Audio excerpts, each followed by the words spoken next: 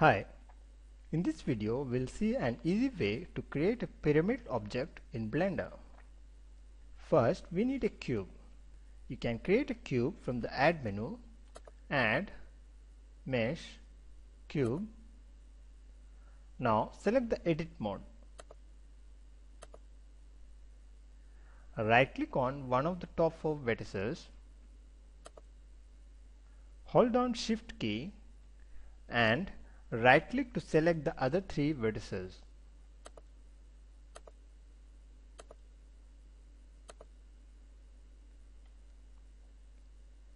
Rotate the view holding the middle mouse button to make sure that only the top four vertices are selected.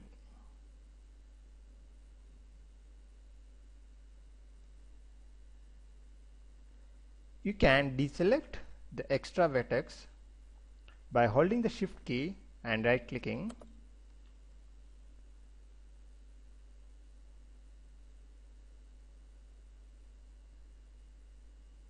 Now you have all the top four vertices selected.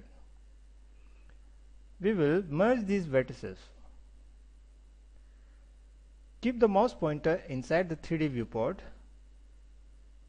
and press Alt M. From the menu that appears, click on At Center. Now you have a basic pyramid object.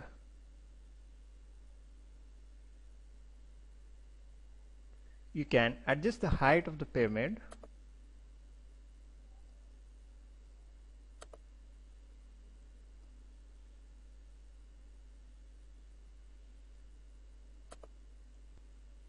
So that is how you can easily make a pyramid object in Blender. Hope this video was helpful. For more videos please subscribe to my channel. Thanks for watching. Have a nice day.